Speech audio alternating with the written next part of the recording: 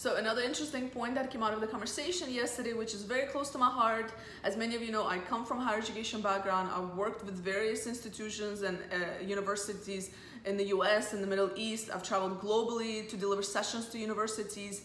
And so I know in higher education, I know what it gives you, what it does not give you. And what I can tell you for a fact is that we really need to start reframing and looking at different ways to alternative ways to higher education the whole concept is not going away anytime soon. It's here to stay. It's a business. It's a big business globally. It's not going away. And I'm not. That's that's not my aim here. My aim here is to say, is it for everybody? And the fact is, it's not. Is it for everybody to go to a four-year degree? Do you really need a master's or an MBA to get that next job? Maybe, maybe not.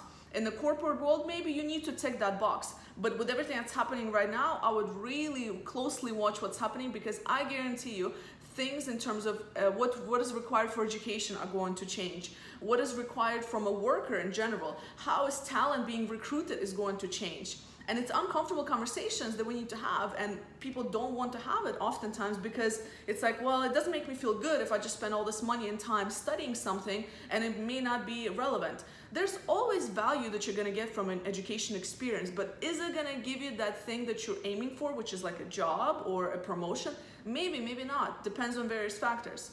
And when it comes to graduates, like if you think about it, this is very new and this is something that one of the girls brought up in yesterday's discussion is that students before like 70 60 years ago right we used to do apprenticeships. Like we used to study in a class and then after the class like we got we get a little bit of theory beautiful and then we actually go to that advertising agency or go to that plant or go to that car dealership or go to that marketing department or the doctor's office etc and we actually practice. We have apprenticeships. There was less time spent in classrooms more spent time spent on the actual job actually preparing. So, and today what we're doing is we're sitting in the classroom learning business administration, which is still one of the more popular uh, majors around the world, which is just mind-boggling to me because it doesn't teach you business, it doesn't teach you entrepreneurship. Take it from me, it's uh, entrepreneurship is just like a whole different animal, and yet it's still one of the most popular ones. And then we're graduating students with zero work experience because oftentimes it's not even required, right? So, and then on top of that, uh, you know, we have companies that are offering internships, but then it's like, are you really teaching them what they need to know? Are you really investing the time to to help the students learn and to mentor them and to develop them? Or are you sort of just asking them to do random things without actually spending time with them?